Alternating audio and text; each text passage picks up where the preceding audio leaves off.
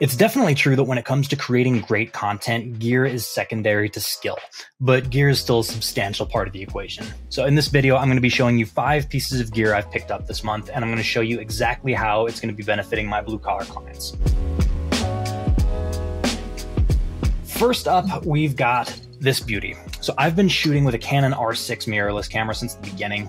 It's a solid camera, but it's definitely built for photography first. Now this R5C is built for video. It shoots footage up to 8K, which means every single frame is the equivalent of a 33 megapixel image. That's a lot of resolution. But the biggest benefit is definitely the onboard cooling fan. That was the R6's biggest limitation, was heat dissipation. It could only shoot for about 15 minutes at a time, even less on hot days or in direct sunlight. This R5C can shoot indefinitely, which eliminates overheating disruptions during interviews. Now, previously I have shot with the 24 to 105 f4. Uh, the f4 indicates how much light is allowed through the uh, through the lens to the sensor. But recent developments in mirrorless camera science have allowed the development of really cool lenses, namely this big old beastie. This is the 24 to 105 f2.8, which lets in twice as much light as the f4.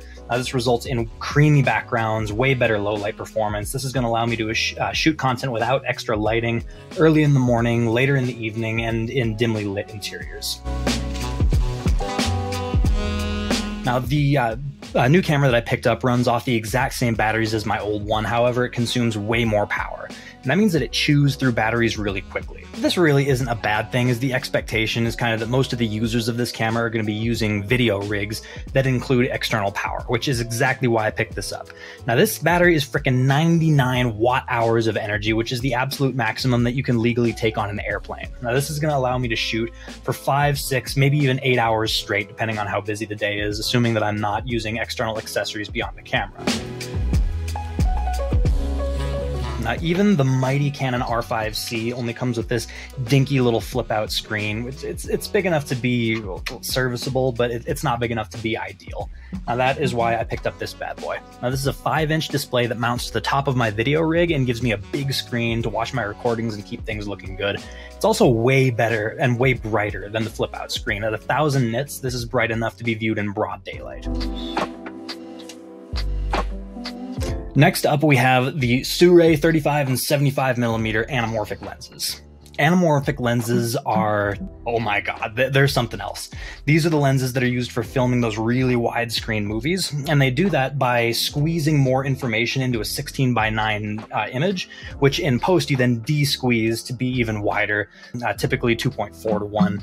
It gives you a really unique look. It gives you gorgeous background bokeh and really striking lens flares. The biggest con to anamorphic lenses is that they're almost exclusively fully manual, meaning autofocus isn't an option.